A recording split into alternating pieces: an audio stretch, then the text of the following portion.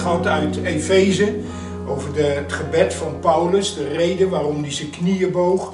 En daar zagen we dat hij daar de individuele gelovigen, maar ook de gemeente op oog had. Dat die zou groeien in Christus. Nou, als je de Efezebrief ook bekijkt, dan gaan de eerste drie hoofdstukken, die bouwen eigenlijk een, een theologisch fundament om in de praktijk tot leven te komen. En dat doen de hoofdstukken 4 tot en met 6. Dus deze morgen wil ik met u verder gaan in Efeze. Maar voordat we daaraan gaan beginnen, wil ik twee versen uit een ander gedeelte lezen. En de eerste is uit 1 Petrus. Dus als u het Bijbeltje hebt, 1 Petrus. En dan lezen we vanuit hoofdstuk 2, vers 9. En er staat dit.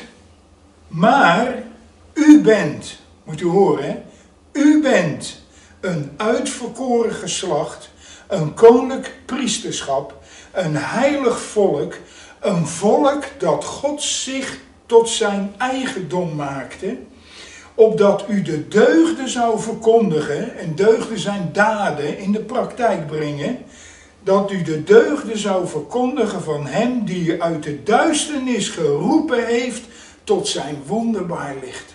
Nou, daar zou je al bijna een preek over kunnen houden.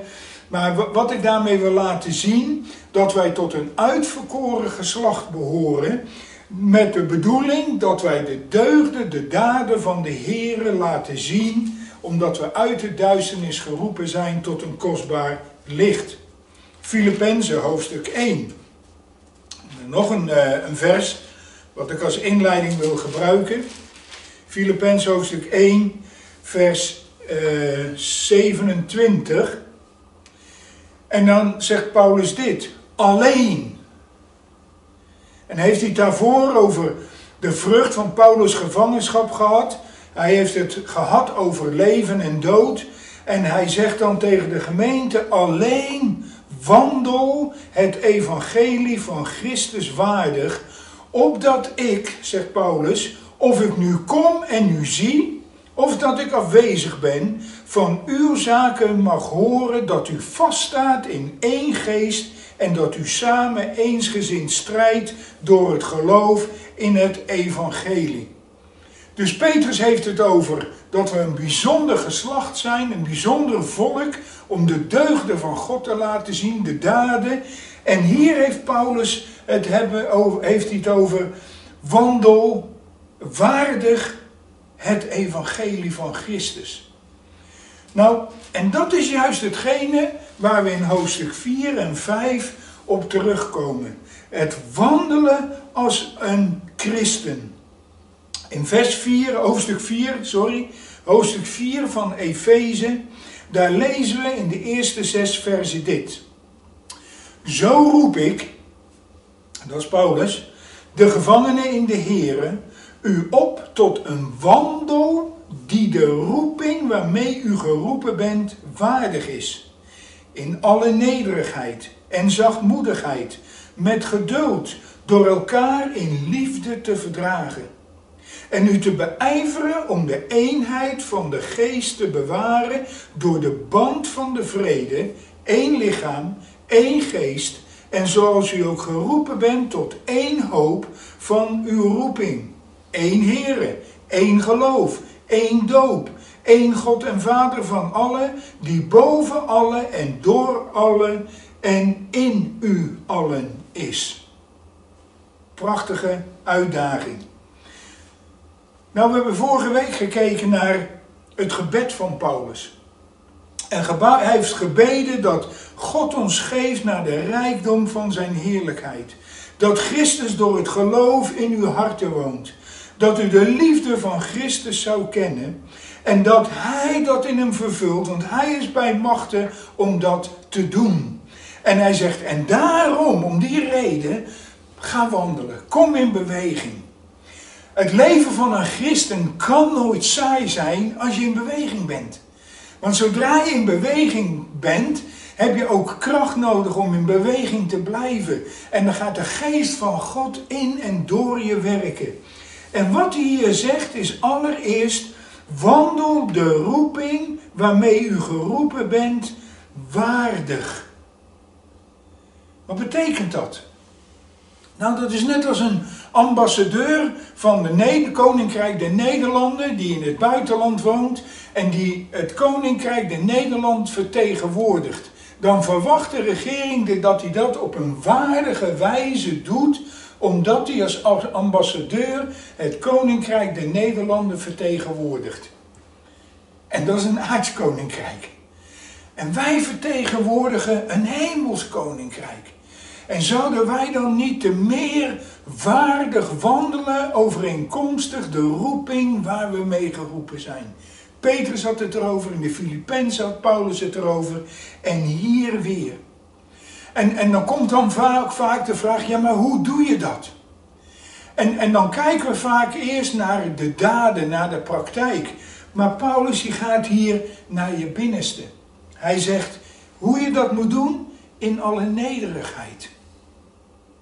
Nou, een goede Nederlander wil best voorop staan. Die wil ook het beste eruit halen.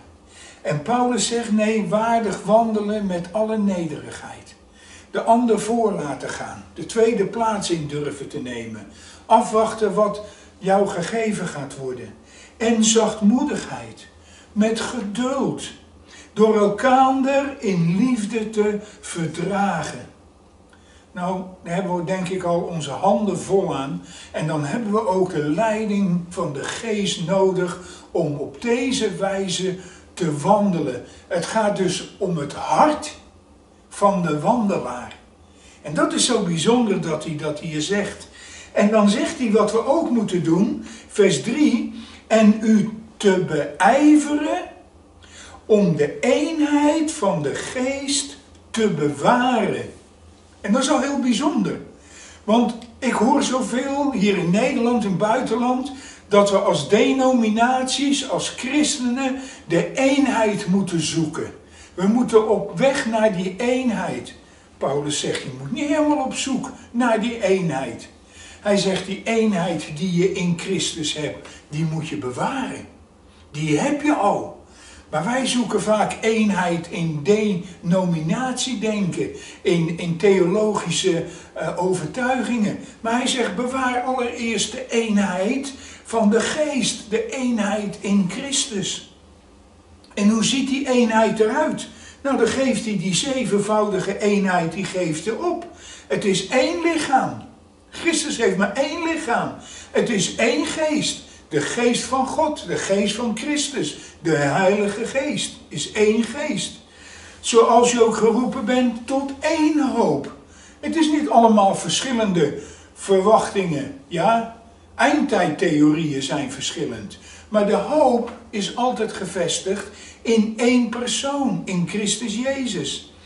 Eén Heer, één geloof, één doop, één God en Vader van allen, die boven alle en door alle en in allen is. En hij zegt, dat moet je vasthouden.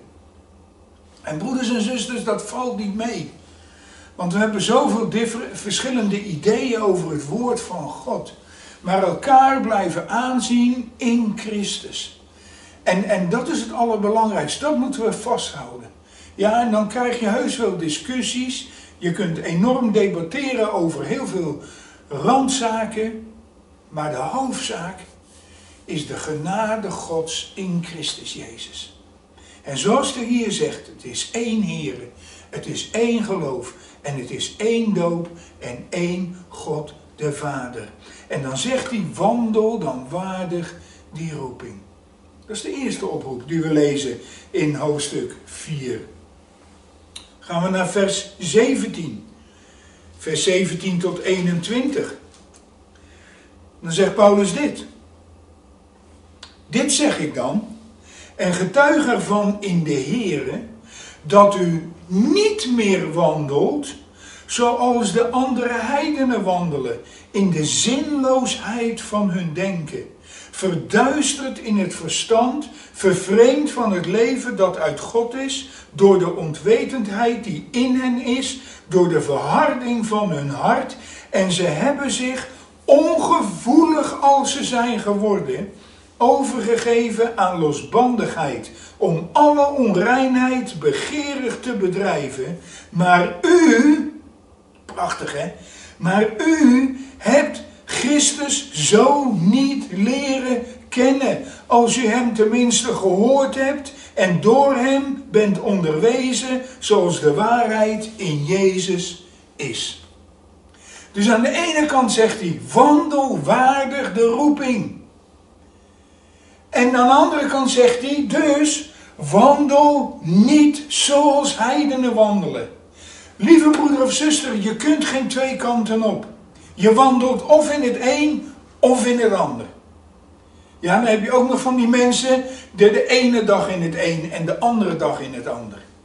Maar hier gaat het erom dat we niet meer wandelen zoals heidenen, de andere heidenen. Zijn wij heidenen? Ja, natuurlijk. Maar we zijn vergeven heidenen. We zijn gereinigde heidenen. We zijn gekocht en betaald door het bloed van de Heer Jezus. Maar die andere heidenen, die wandelen in de zinloosheid van hun denken. Hun eigen denken. Ze denken niet overeenkomstig het woord. Kijk maar hoe de wereld denkt over leven, over het huwelijk, over zoals God het allemaal heeft ingesteld. Alles moet maar kunnen. Alles moet maar kunnen. We hebben eh, deze week is er de discussie over dat programma op de televisie dat kinderen van 11 jaar naar naakte mensen moeten kijken. Om geen schaamte over naaktheid te hebben. Wat, dat, dat gaat tegen de schrift in. Het is de zinloosheid van hun denken. En wat staat er? Hoe komt dat? Ze zijn verduisterd in het verstand, vervreemd van het leven dat uit God is. Het leven wat wij kunnen lezen in het woord van God.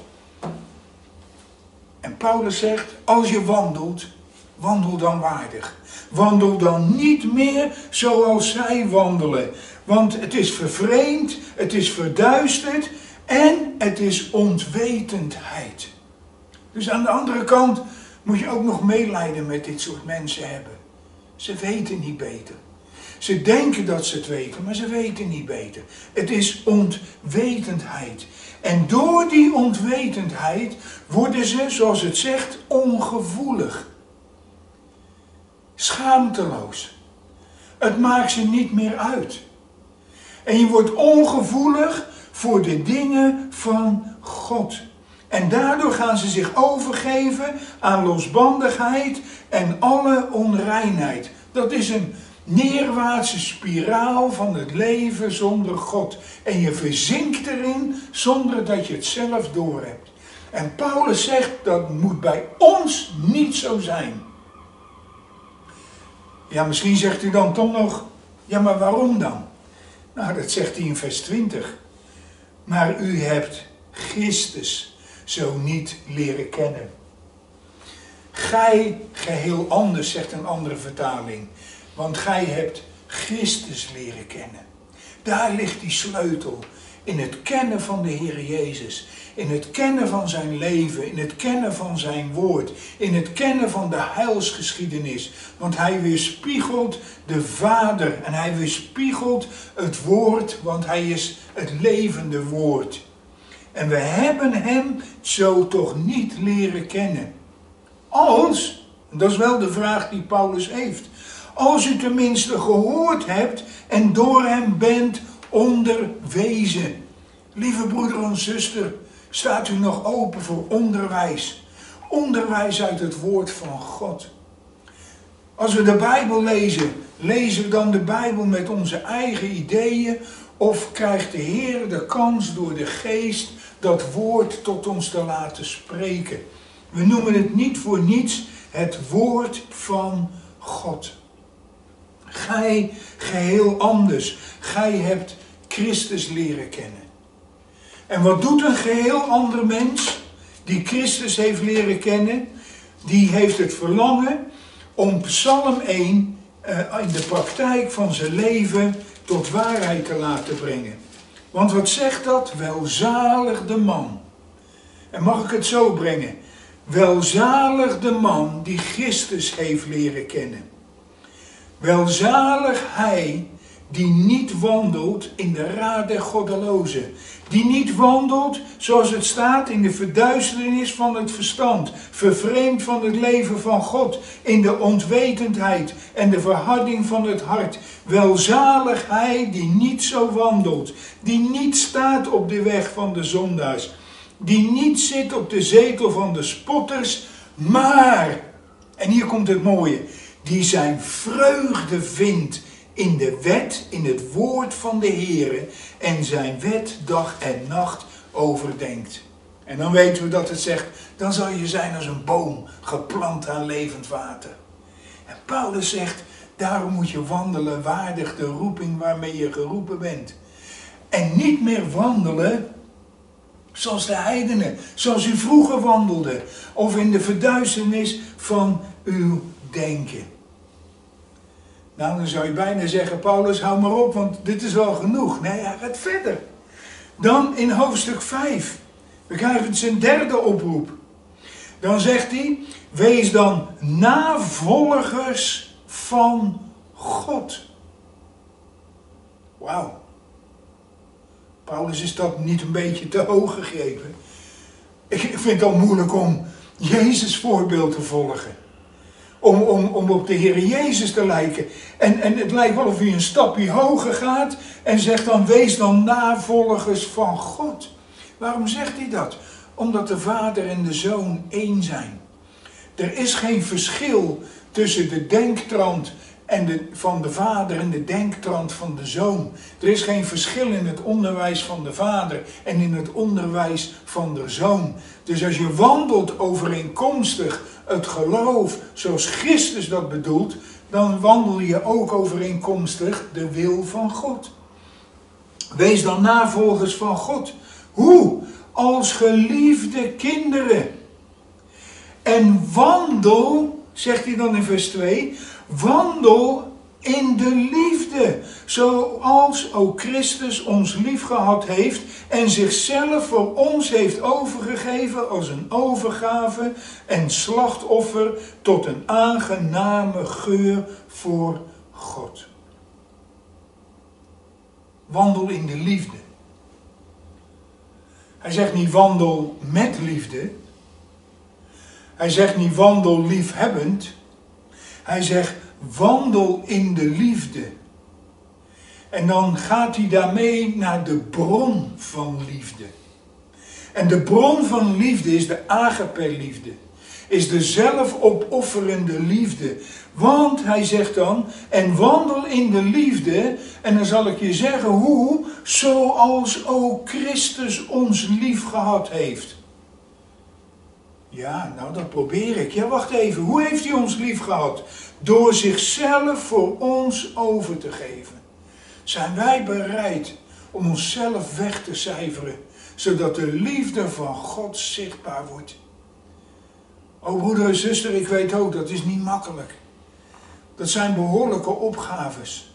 Vooral als je pijn wordt gedaan, als je verdriet wordt gedaan, te wandelen in de liefde, jezelf weg te cijferen. En toch lezen we hier dat God ons van ons vraagt. Waarom? Zodat ons leven een aangename geur voor God wordt. Daar gaat het om. Indirect gaat het eigenlijk nog niet eens over onszelf. Maar wij zijn dat instrument waarin dat werk van Christus zichtbaar wordt op deze verdorven wereld tot een aangename geur voor God de Vader. Paulus heeft het er ook een beetje over eigenlijk in Romeinen 12. U kent die versen vast wel, vers 1 en 2. Dan zegt hij dit. Ik roep u er dan toe op, broeders, door de ontferming van God, om uw lichamen aan God te wijden als een levend, heilig en voor God welbehagelijk. En voor God welbehagelijk. Dat is uw redelijke godsdienst. Dus opnieuw als een, als een welriekende geur, maar ook als een wel aangenaam offer voor God. Worden we gevraagd om zo te wandelen. De vierde en de laatste. Dan zegt hij dit in hoofdstuk 5, vers 15. van Efeze. Hoofdstuk 5, vers 15. Let er dan op dat u nauwgezet wandelt, niet als dwazen, maar als wijzen. En buiten geschikte tijd uit, omdat de dagen vol kwaad zijn. En wees daarom niet onverstandig, maar begrijp wat de wil van de Heeren is. En word niet dronken van wijn, waarin losbandigheid is, maar word vervuld met de geest. En spreek onder elkander met psalmen, lofzangen, geestelijke liederen en zing voor de Heere en loof Hem in uw hart. En dank altijd voor alle dingen God en de Vader in de naam van onze Heere Jezus Christus en wees elkaar onderdanig in de vrezen Gods. Dus opnieuw wandelen. Maar wat zegt hij hier? Hij zegt, let er dan op. Oh, dus dat betekent dat de geest niet alles doet? Nee, de Heilige Geest schakelt ons niet uit. De Heilige Geest schakelt ons in die bediening, maar wij hebben daar wel een verantwoordelijkheid in. Want hier worden wij als kinderen van God, als zij die dat bijzondere volk zijn, worden opgeroepen dat we oplettend zijn. Let er dan op dat u nauwgezet wandelt. En hoe doe je dat? Nou, door eens je eigen leven te checken. Misschien eens met een andere broeder of zuster te praten van... Hoe, hoe vind je mij geestelijk als christen? Ja, dat kan, dat kan confronterend zijn. Maar wandelen wij nauwgezet? Wandelen wij als dwazen of wandelen we als wijzen? En dan kan u misschien zeggen, ja, ik ben niet zo wijs. Nou, dat geeft niet, want dan zegt Jacobus, als u in wijsheid tekortschiet, vraag het de Heere daarom en het zal u gegeven worden. Maar bidden we daarom, zeg Heer, geef, geef me wijsheid om deze dag in te gaan. Geef me wijsheid op mijn werk. Geef me wijsheid in de gemeente. Geef me wijsheid zodat ik wandel nauwgezet overeenkomstig uw wil. En hij zegt, en buit de geschikte tijd uit. Weet u, al word je honderd jaar, dan is het nog maar een fractie op de eeuwigheid. En dan wordt hij 90 jaar, is het ook een fractie. Elke dag is een fractie op de eeuwigheid. Dus elk moment dat wij leven is een tijd die we positief of negatief kunnen gebruiken. En hier zegt hij buiten geschikte tijd uit. Dan heb je altijd wel wat te doen. Dan heb je geen saai leven. Als je de tijd geschikt wil gebruiken. En waarom? Omdat de dagen vol kwaad zijn. We hebben zoveel te verwerken. Maar buiten tijd uit, laat ons daardoor meesleuren of zoeken we daar binnen mogelijkheden om zo te wandelen dat we tot zegen voor elkaar zijn. En daarom zegt hij in vers 17, wees daarom niet onverstandig. Wees niet onverstandig, maar begrijp wat de wil van de Heeren is. Nou, ik zal u zeggen, als ik het woord van God lees, word ik constant geconfronteerd met de wil van God. Elke keer laat hij zien hoe hij over dingen denkt. Ik ben nu in het evangelie van Lucas ben ik aan het lezen en dan word ik geconfronteerd met de handelswijze van de Heer Jezus met zoveel verschillende mensen. En dat is als een spiegelwerk dat in mijn eigen leven. Dus dan moet ik niet onverstandig zijn, maar ontdekken, Heer, wat wilt u hiermee in mijn leven? En word niet dronken van wijn. Nou, daar hoop ik dat ik dat niet hoef aan te halen. Dat u, al geniet u van een glas wijn, maar dat u er niet dronken van wordt. Dat is niet goed. Want hij zegt, er zit losbandigheid in. Je gaat dingen doen, je gaat dingen zeggen als je te veel op hebt waar je later spijt van hebt. Maar wordt vervuld met de Heilige Geest. Wees daar vol van. En als je daar vol van bent, dan ga je doen wat in vers 19 staat. Dan ga je met elkaar praat over de dingen van God. Je spreekt onder elkaar met psalmen, lofzangen en geestelijke liederen. En je gaat zingen voor de Heer en je gaat loven in je hart. Nou, dat is toch het mooiste wat je kan doen in je leven. Dat er een vreugde is, ja? Mijn omstandigheden zijn niet zo makkelijk. Het is allemaal moeilijk en zwaar in deze tijd. Het zit me niet lekker. Maar wat er in mijn hart leeft, dat kan niet gestopt worden. Want ik zing voor de Heer en loof Hem in mijn hart. En vers 20, en dank altijd. We zijn bidders, maar zijn we ook dankers. En als u denkt, nou ik heb niet zoveel om voor te danken, dan dankt u dat u hem hebt leren kennen. Dan dankt u dat u ogen hebt en kan zien. Dan dankt u dat u een mond hebt en kan spreken. Dan dankt u dat u vandaag naar de dienst kan luisteren. Dan dankt u en noem maar op. We hebben zoveel dingen om te danken. En als je gaat danken, dan word je blij en dankbaar. En dank altijd, zegt hij, voor alle dingen God en de Vader in de naam van onze Heer Jezus Christus. En om die redenen wees dan ook elkander onderdanig. Waardig wandelen. Een oproep van Paulus. En het is niet alleen voor de tijd waarin Paulus leefde, 60 jaar na Christus. Nee, het is ook voor vandaag de dag 2021 dat wij als christenen een hele andere levensstijl hebben dan degene die Christus niet kennen. 1. Waardig wandelen overeenkomstig de roeping waar we mee geroepen zijn. 2. Dan zegt hij waardig te, of wandel, even kijken hoor. Niet meer wandelen zoals de andere heiden wandelen. Derde, wandel in de liefde zoals Christus ons lief gehad heeft. En als laatste, wees niet onverstandig, maar wandel nauwgezet, niet als dwaze, maar als wijze. En weet u, veel van mensen die oefenen voor de, de Vierdaagse van Nijmegen en hele kolonnes die wandelen. Maar zijn wij wandelaars voor de Heren? Ja, dan is het niet afhankelijk of het wel of niet doorgaat. Dat, dat kan door corona niet gestopt worden. Het leven met de Heer. En ik wil u oproepen, wandel. Wandel voor Hem. Laat u gebruiken door de Heer. En wandel tot eer en glorie van Zijn naam.